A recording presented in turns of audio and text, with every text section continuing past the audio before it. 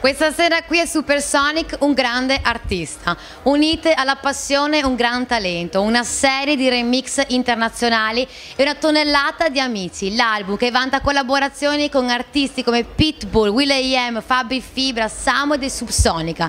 Per noi questa sera con Ghetto Ghetta e il Crookers.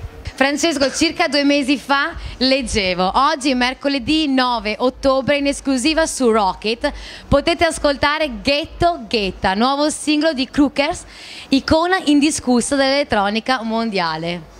Un, una release che ha poi susseguito il tuo tour in Australia. Come è andato? Qual è stato il feedback dall'estero? Il feedback dall'estero, ma perché non parlare del feedback in Italia? Anche perché so che in Italia è uscita in due versioni, vero? Vai, allora, no, versione fa, elettronica e versione hip hop. Come è andata? Eh no, ma ti fai, fai, tu, dai, lo sai già tanto la risposta che è andata bene, cosa ti devo dire? Funziona, è bene, è un pezzo che sta funzionando. Posso fare l'eglio della situazione? È, è credibile. È un pezzo è, credibile. È un pezzo credibile. Perché Elio sostiene molto la credibilità. La credibilità. Diciamo. Ma il feedback da Ghetta com'è andato? Il feedback da Ghetta è andato bene, nel senso che io gli ho chiesto naturalmente, eh, guarda che faccio una canzone col tuo nome dentro, non vorrei avere problemi poi in, in futuro. E lui che ti ha risposto? Mi ha risposto, eh, va bene, che figata, ehm, tanti auguri per la, le prossime Piena approvazione. Per le prossime release, la musica mi piace.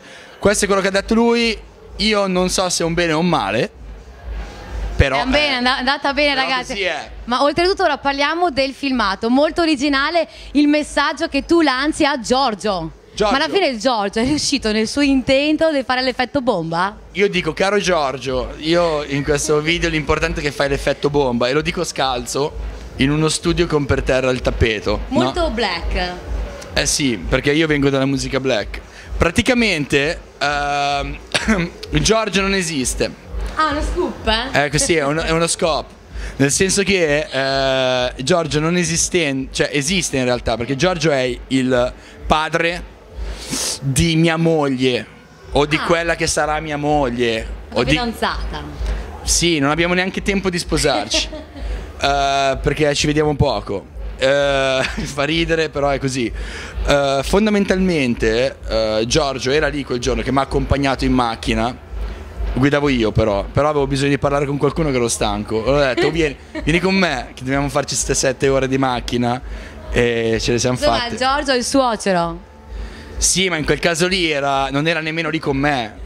Io dico Giorgio perché Giorgio puoi essere anche tu, capisci? Ho capito. Giorgio può essere chiunque in quel caso lì. era per far capire l'intento del video, che è un video fatto un 448 in un buco di culo. Belli anche i Rolex, devo dire. Sì, quelli mi piacciono, però quelli lì forse erano anche finti perché li ha montati il tipo, quindi figurati, sarà stato finto sicuramente quel Rolex, conoscendo... Ma dimmi un po', quando tu parti da una produzione, dove sì. parti realmente? Da un eh... suono che senti? Ma io quando parto dalla produzione parto dalla cucina e scendo giù in studio. Quella lì è la prima cosa che faccio. Ah, sì. Sì. parto dallo studio. E poi accendi il eh, software. Accendi... Sì, no, poi accendo il, prima il computer, il portatile e poi per, per, per, non perdere tempo ci accendo l'altra ciabatta, che si dice ciabatta, no? Sì, sì, sì. Accendo l'altra ciabatta e si accende tutto il resto, che sono tanta roba.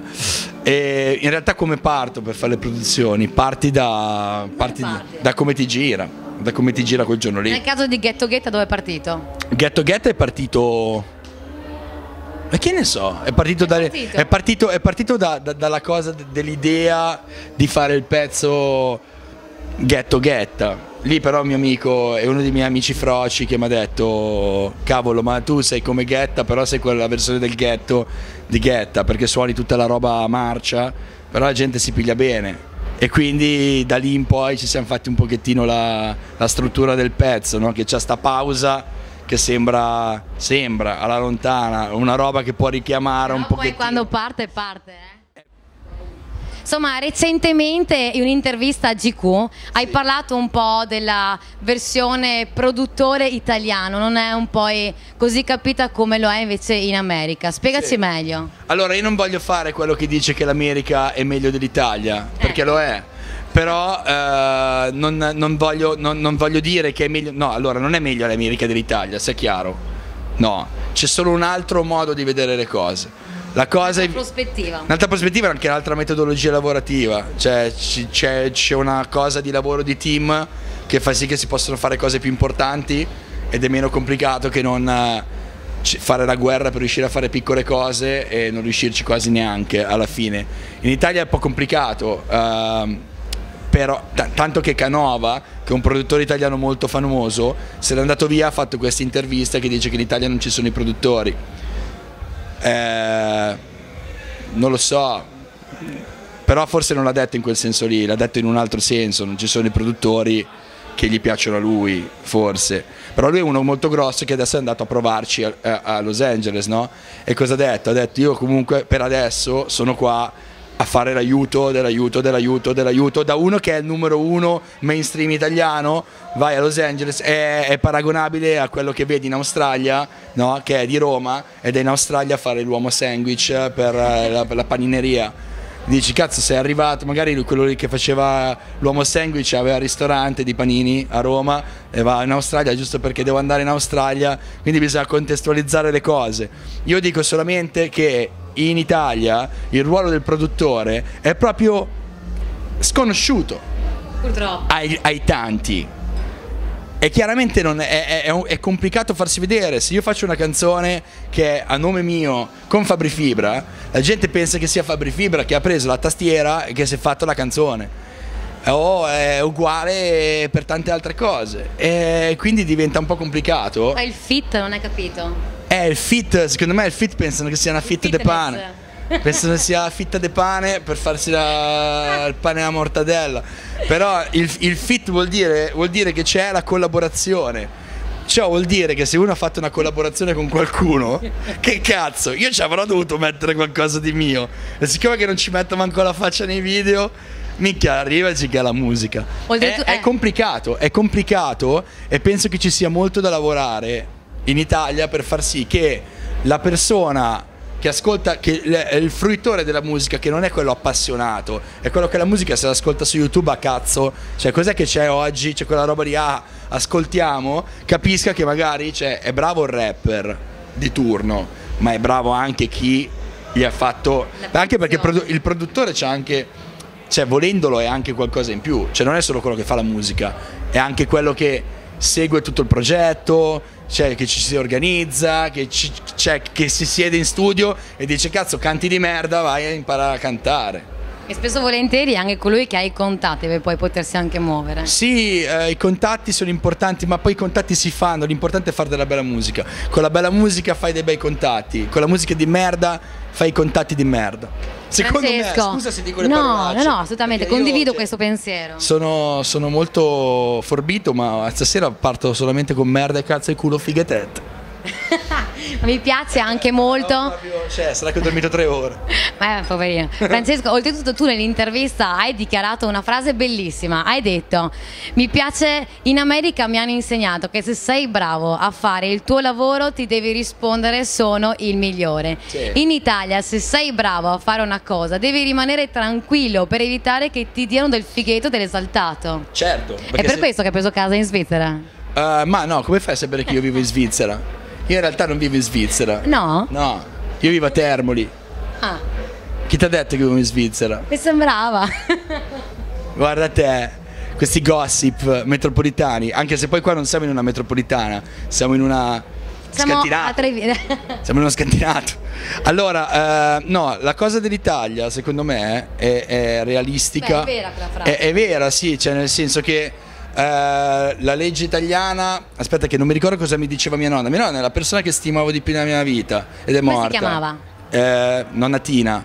Uh, ciao nonna Tina, chissà se mi vede. Uh, praticamente la roba eh, che mi diceva che in Italia se tu arrivi è rubato, se tu non sei nessuno sei uno sfigato. Eh, purtroppo. Quindi fondamentalmente lei mi ha detto, vedi di non rubare, no, però vedi di arrivare. Faccela senza rubare se ce la fai. Poi di quello che la gente ti dice fregatene un pochettino perché tanto cioè, è sempre facile. Però è, è, è, è, è bella questa cosa di, della nonnatina, è veramente però, bella. Però è, proprio, però è proprio così, cioè è, che se tu ce la fai a fare una cosa e fai vedere che ce l'hai fatta, risulti odioso, perché ti dicono cazzo, però ce la sbatti sempre in faccia che ce l'hai fatta, che due palle, cioè abbiamo capito che No, ma tu ce l'hai stai fatta, dai, su. Hai capi- abbiamo capito che c'hai i soldi. In realtà penso che tre quarti delle persone in Italia non lo sanno neanche che cosa a me nella mia vita mi è successo, grazie a quello che pensano sia successo. Cioè, un sacco di cose che rimangono sempre nascoste. Belle e anche quelle brutte. Quindi è meglio così, forse. È meglio che la gente sogni, no?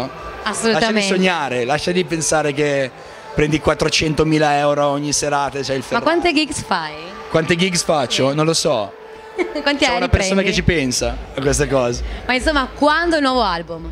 Quando il nuovo album ci sto lavorando. Quando uscirà indicativamente? Ecco, guarda, il bello di aver finito i contratti con le etichette, deve essermi fatto l'etichetta mia con cui licenzio il mio album e che non ho pressioni da nessuno. Quindi guarda, io ti dico che pensavo ad aprile, a marzo, però dipende, adesso ho 10 tracce, 10. È buono. Oggi ce n'ho 10. È buono sì, però ogni giorno mi arriva qualche cosa che potrebbe essere buona per essere l'undicesima o la dodicesima e ho, ho dei featuring in ballo che mi ci vuole un pochettino di tempo per chiuderli. Dai, su, fai orgoglio noi italiani. Abbiamo detto, abbiamo detto la parola featuring. Featuring. Aiuto! no, il fetto de pan. Col casino. Vedi che poi se tu ci pensi dopo, se tu ci pensi, poi ti si incasina la vita, capisci? Ma lo sai, questa è la più bella intervista che ho fatto? Eh beh, immaginavo, sono anche il più bravo, no? Sei più simpatico. Eh, guarda. Allora che dirti, io ti do un bocca in lupo, che crepi il lupo. crepi anche il Che lupo, crepi soprattutto Sì, lupo. soprattutto crepi. E ci rivediamo per il tuo album. Va bene. Ciao, Ciao ragazze. Ci rivediamo, ci rivediamo al mio Who album. cares? Who cares? E Miss Mazzella.